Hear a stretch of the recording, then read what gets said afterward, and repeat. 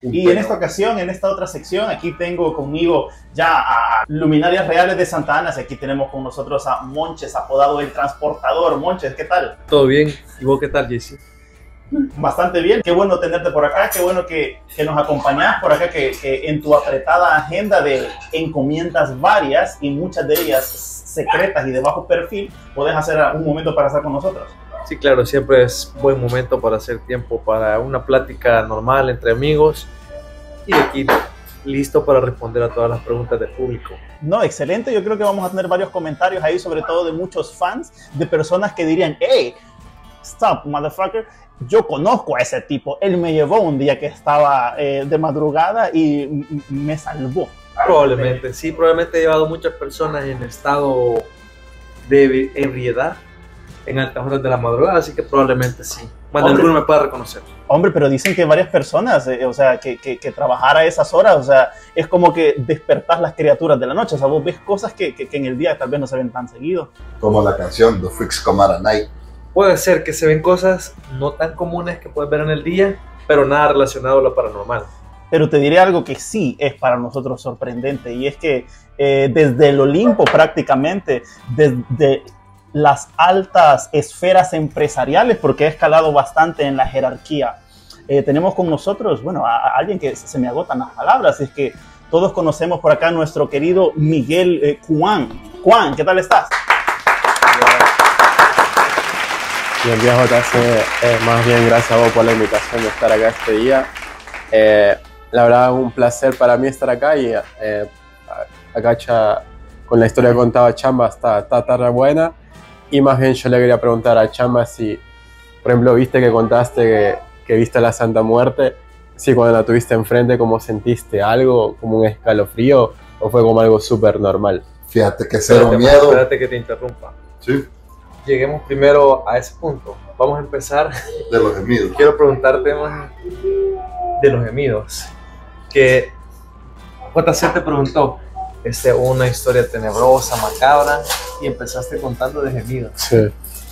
Que de macabro iba a tener un gemido. Pues fíjate que fue, fue bastante raro porque si eran las 3 de la mañana y en un parque y la gran puta grande, porque pues sí, vos no te esperas a escuchar gemidos a las 3 de la mañana en el parque. Tal vez sí. No, pero por ahí capaz vos pensaste que era la Pero, vecina, no sé. Pero no pensamos a nada más, lo- no, nosotros pensamos, están cogiendo. Cuando, cuando escuchaste Ajá. el gemido, vos dices, ah, Están cogiendo, están vamos a ver, dijimos a metillar. Pero, pues sí, fue es bastante raro en la a las 3 de la mañana en un parque. Quizás no tenebroso, pero de la Santa Muerte sí. Tal vez lo, lo, lo raro está en que estaba ya bien adentrada en el parque. Si hubiera Ajá. sido o sea, a, lo- a los dos, tres minutos de haber entrado, pero ya estaba bien adentro, entonces sí No, o la otra raro. pregunta sería, ¿qué estaba haciendo él a las 3 de la mañana en un parque? No? Ah, por ahí. Sí. Si estaba en Colón, por ahí estaba buscando otra cosa. Fuimos con la intención de que nos espantaran. Con, con intención, con intención de ver algo, sí. Porque en ese parque han matado a bastante gente. A la- Exploración urbana, no, Ajá, no urbana, es forestal. Nosotros llevábamos equipo para defendernos, cada uno. Ahí. O sea, nosotros íbamos solo a que nos espantaran, pero no una persona, o, sino que o cosas paranormales, pues. No, yo te preguntaba porque me acuerdo una vez alguien me contó que le pasó algo parecido a lo tuyo y me dijo que cuando tuvo como, no sé si decir el ente, dijo que sentía como escalofríos. Entonces, o sea, ¿qué sentiste vos por ahí? Fíjate que cero miedo, cero escalofríos, solo me congelé porque la sombra literalmente solo se levantó. Pero no sentí miedo, yo después me sentí contento, como le mencionaba. Pues la verdad que está, es, siento bien complicado entender ese sentimiento porque nunca me han asustado. Yo soy una persona que, este, soy bien miedoso, por así decirlo. Yo soy bien miedoso, este, películas de miedo, a mí me gusta verlas, pero me da miedo. Este, ir a lugares oscuros, no sé, todas esas cosas. Yo soy bien miedoso, pero nunca me han asustado. Vos, Monches, como eh, en tu vida de transportador, no, no, no has tenido ninguna, ninguna experiencia parecida o oído de gente que le pasa eso. Fíjate Con que- gente que se siente fresa. Fíjate que ese el momento no, nunca me ha pasado nada así. Lo más cercano que te podría decir a alguna experiencia paranormal fue que es algo que las demás personas que están en el mismo rubro no me van a dejar mentir. Hay momentos en los que te dan ganas de orinar, tenés que ir al baño y no hay dónde, o tal vez no hay una gasolinera cerca. tenés que buscar alguna calle sola y así. Eso no es nada, nada del otro mundo. Claro, claro. Eso es Entonces, crimen. Yo este, llegué a ese punto, no había una gasolinera cerca, estaba como una carretera. Me hice a un lado y así en la carretera normalmente nunca es, es raro encontrar así como que esté urbanizado. Entonces habían matorrales, habían este, un lugar bien feo. Yo me bajé y sentí un escalofrío bastante feo, así sentí frío, un escalofrío, algo, algo bien no tan común. Entonces dije yo, no, yo aquí no me voy a bajar. Me subí al carro y me fui rápido. Pero eso ha sido lo más cercano a algo paranormal. Pero fue un miedo así, no, algo que nunca había sentido. De repente. As- Así de la nada, de repente sentí el escalofrío, sentí el cuerpo helado. No, dije, aquí no voy a venir. Me bajé, me, super, no, me subí al carro y me fui. Ah, me contaste de eso. Ah, te conté vez, pa. Simón. saber, saber quién te estaba vigilando o qué te estaba vigilando. Ajá, fíjate, eso es lo más cercano a, a- a algo paranormal. De ahí nada. Y como te digo, es una persona que yo este, soy bien miedoso. Y sí, yo había escu- he escuchado a un montón de personas que los han asustado, que han vivido cosas así, trabajando como de, de transportador. Pero fíjate que yo siempre que ando a esa hora digo, bueno, espero que nunca me vaya a pasar nada. Ojalá no me asusten y así. Y hasta el momento, nada. Y espero que igual no me vaya a pasar nada. Y fíjate que así como comentás que hay el lado eh, siniestro y oscuro y etcétera, está también el lado de la luz. Y la verdad es que eh, nuestro eh, estimado y bien ponderado Juan está muy familiarizado con el lado de la luz porque Juan, he escuchado que eh, dicen las malas lenguas por ahí que antes profesabas la fe eh, cristiana. No, de hecho, eh, te puedo decir que me he cruzado casi con todas las religiones. Eh, por ejemplo, yo de pequeño eh, siempre fui salesiano, eh, el mundo católico, digamos.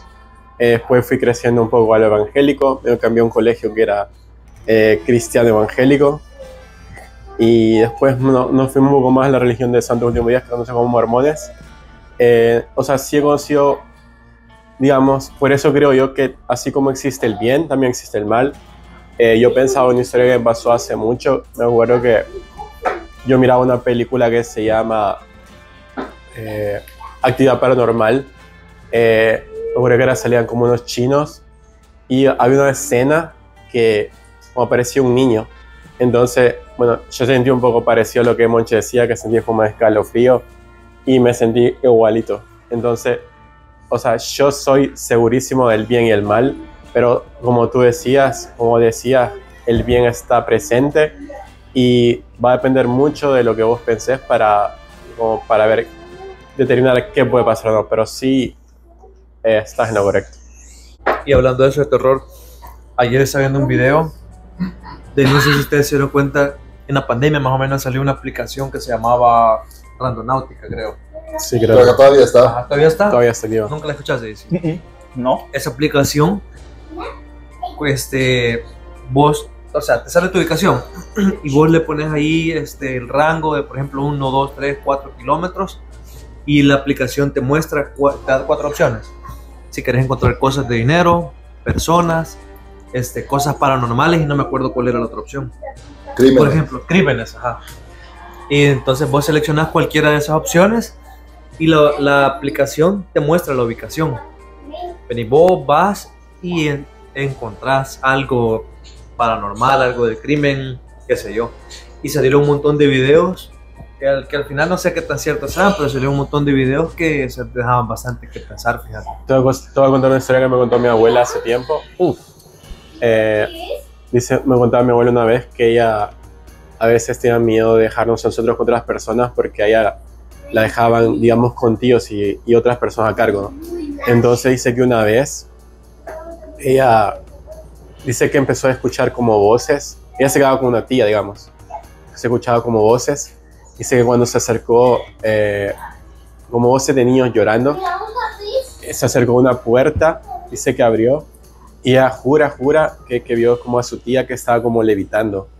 Dice que estaba hablando así como un idioma extraño, pero ella nunca la- no la estaba viendo como en los ojos, En hebreo. sino que ella estaba viéndose al espejo y, o sea, levitando. Dice que cuando ella la vio, salió corriendo llorando.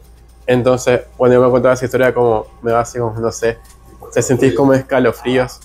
Entonces, yo creo que los abuelos tienen bastantes historias de, de cosas así como la ciguanaba, todo eso. Y, o sea, interesante, ahora no se escucha mucho, pero creo que abuelos que, o personas mayores que te pueden dejar como un poco encantado con esa historia. Y no, y la verdad es que tenemos un rico patrimonio como pueblo latinoamericano, ¿no? No, incluso te quiero comentar que, bueno, no sé si le dijo a usted, pero yo, digamos, estuve un tiempo en Lima, entonces tuve la oportunidad de, de subir un nevado que se llama Huaytapayana. Entonces las personas de ahí creen súmitamente que cada, cada cerro es como un alma. Entonces cuando vos te asomas ahí, tienes que dar como ofrendas, eh, chocolates, dinero, antes de subir ahí.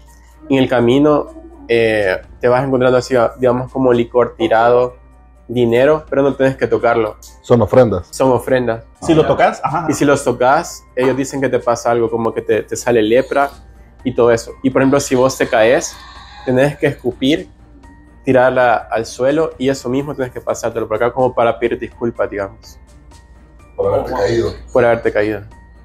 Entonces creo que cada como cultura tiene como historias bien interesantes. No, totalmente.